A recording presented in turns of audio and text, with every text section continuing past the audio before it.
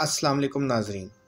आज हम बात करेंगे दुनिया के कुछ माहिर तमीरत के बारे में, जिनकी बनाई हुई इमारतें देखकर लगता है कि ये लोग नकल करके पास हुए हैं।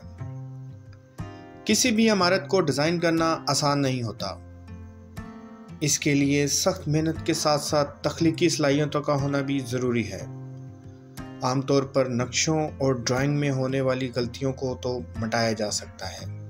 मगर यही गलती अगर तामीर में हो जाए तो इसको दूर करना बहुत मुश्किल और महँगा होता है। इसी वजह से माहिर तमीरत होना बहुत ज़िम्मेदारी का काम होता है। मगर आज हम आपको ऐसे माहिर तमीरत के बारे में बताएँगे, जिन्होंने कुछ नया करने के शौक़ में कुछ बहुत ही बुरा कर दिया।